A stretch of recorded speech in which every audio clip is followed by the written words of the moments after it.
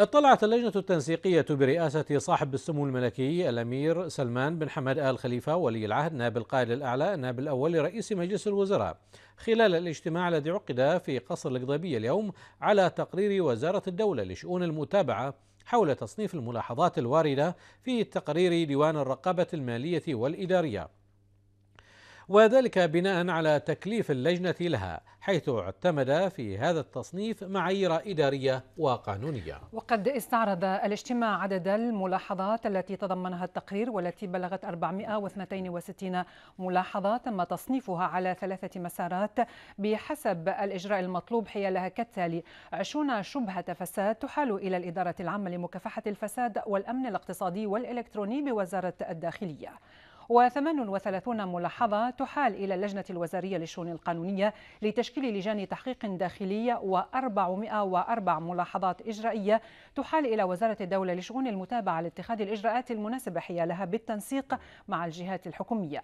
وتشمل شبهات الفساد العشرين ثمان حالات في وزارة شؤون البلديات والتخطيط العمراني وسبع حالات في شركة ألومنيوم البحرين ألبا وحالة واحدة في كل من شركة البحرين لمطاحن الدقيق وغرفة البحرين البحرين لتسوية المنازعات وشركة نفط البحرين بابكو ووزارة الأشغال ووزارة الإسكان. وقد تم تحويل هذه الحالات إلى إدارة مكافحة الفساد والأمن الاقتصادي والإلكتروني بوزارة الداخلية للتحقق قبل تحويلها للنيابة العامة.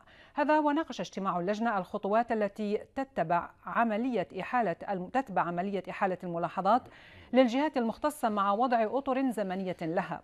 وقد أبدى صاحب السمو الملكي ولي العهد نائب القائد الأعلى النائب الأول لرئيس مجلس الوزراء ارتياحه لمستوى ووتيرة العمل الذي تم قطعه في سبيل الوقوف على المخالفات وحقيقة التجاوزات الإدارية والمالية وللخطوات الجادة في أعمال المحاسبة حفظا للمال العام وإدارته. حسب ما يتم التأكيد عليه دوما من مبادئ الشفافية والمحاسبة ضمن إطار المشروع الإصلاحي لحضرة صاحب الجلالة الملك المفدى.